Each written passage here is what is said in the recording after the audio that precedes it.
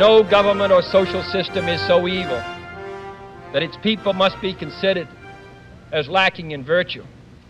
But we can still hail the Russian people for their many achievements in science and space, in economic and industrial growth, in culture, in acts of courage.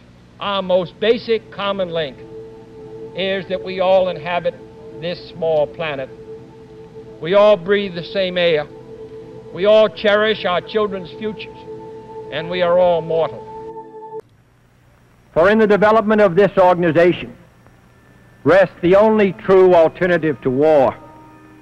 And war appeals no longer as a rational alternative.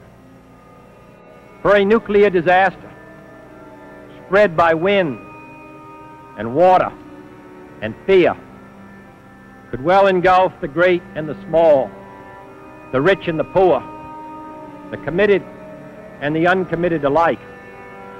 Mankind must put an end to war, or war will put an end to mankind.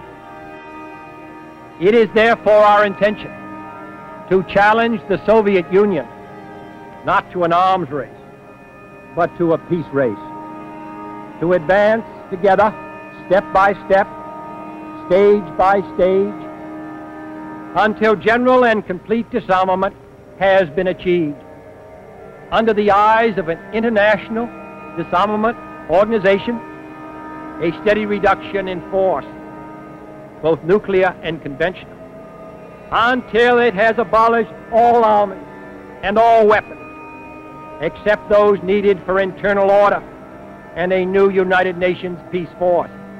And it starts that process now, today, even as the talks begin. Never have the nations of the world had so much to lose or so much to gain.